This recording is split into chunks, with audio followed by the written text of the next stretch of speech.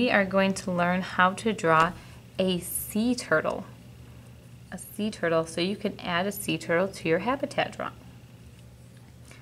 So the first thing I'm going to do is I'm going to take and turn my paper the tall way.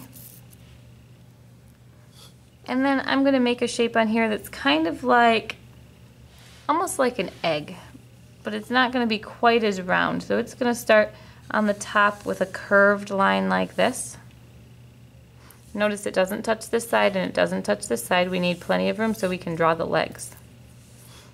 And then this curved line is going to come down and then go back up, kind of like when we drew our faces. Down and back up. And this is going to be the shell for your sea turtle. Then you're going to draw his head coming out. So the head's going to be a curved line, makes kind of a half circle or a semicircle. So it's going to go right in the middle of the shell and it's going to come up like this. And stick out just a little like that. Then we're going to draw his front legs. And his front legs and his back legs are different shapes. So for the front leg, we're going to make two lines that come out like this. One is from the top of the shell and one is from the side of the shell. And then I'm going to make a semicircle that comes back around, but it's kind of more like an oval. But it's going to start at the top and it's going to curve down and over and back until it touches that other line. Then I'm going to do the same thing on this side. I'm going to draw two lines that come out. One on top, one on the side. And then I'm going to draw a line that comes from the top of this, curves around and back to touch the bottom one. So now I have the head and the two front legs. On the back, I'm going to draw his back legs are going to be just kind of long ovally shapes that touch the shell like this. So one on this side and one on this side. And then I'm going to use kind of a triangle shape to make his tail, coming right out the back side.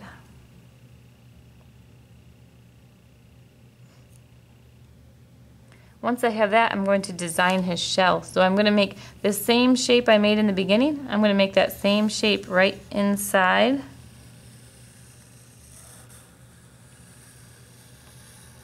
Right inside so that it's the same shape just inside further.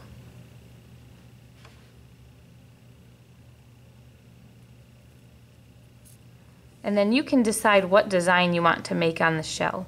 You can make triangles on it or squares or circles, something to make that, that shell pattern on it. If you want to, you can follow along with what I'm going to do, or you can create your own design using your own shapes. So I'm going to make mine by, I'm going to start off just a little below this line that I made. I'm going to draw a line that goes just in the middle. It doesn't go all the way across.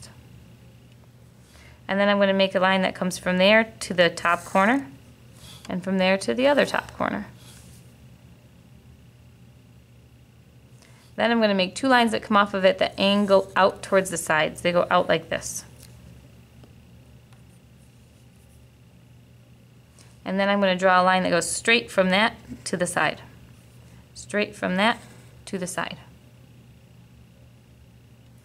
I'm going to make a line that comes from this corner and a line that comes from this corner and they're going to go in and stop. In and stop. And then I'm going to make those touch like that. Next thing I'm going to do is make these lines angle out, just like I did the last time. They go out, almost to the side, but not quite. And then they're going to go sideways and touch, sideways and touch. And I'm going to angle it in, angle it in, and draw a line across so they touch. And I'm going to draw an angled line out to the bottom, angled line out to the bottom. And I made a shell. And then you can add whatever kind of eyes you want on your turtle, whatever mouth you want on your turtle.